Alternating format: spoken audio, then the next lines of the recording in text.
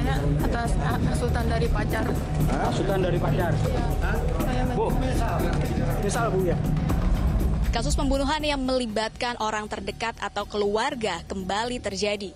Kali ini di kawasan Setu, Kabupaten Bekasi, di mana seorang bos aksesoris berinisial AS ditemukan tewas di kediamannya pada 27 Juni 2024 lalu. Kali ini saya berada tepat di depan kediaman korban.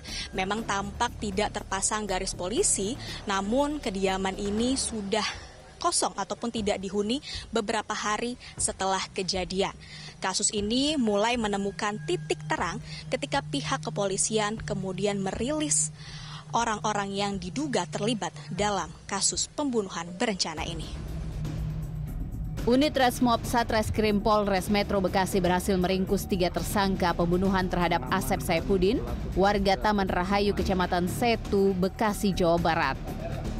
Ketiga tersangka adalah Juhariah istri korban, Sylvia Nur Afriani anak korban, dan Hagistiko calon menantu korban.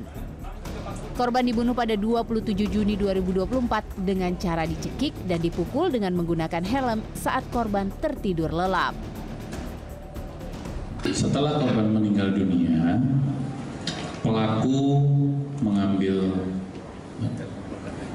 mengambil telepon genggam korban, kemudian melakukan uh, transaksi pinjaman online. Ya, itu sebesar 13 juta rupiah.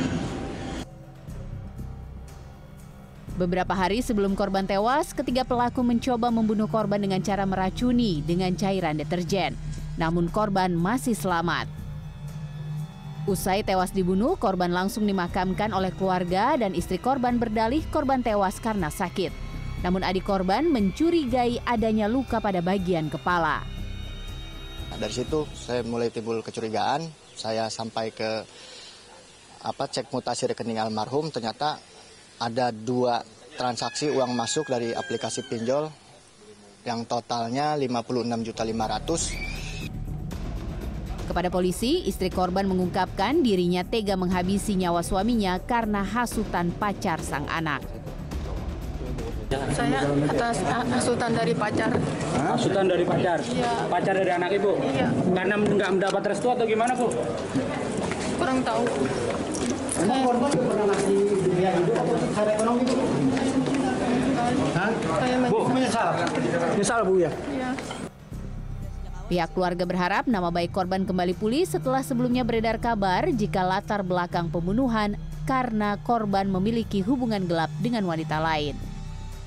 Dari Kabupaten Bekasi, Jawa Barat, Tim Liputan CNN Indonesia melaporkan.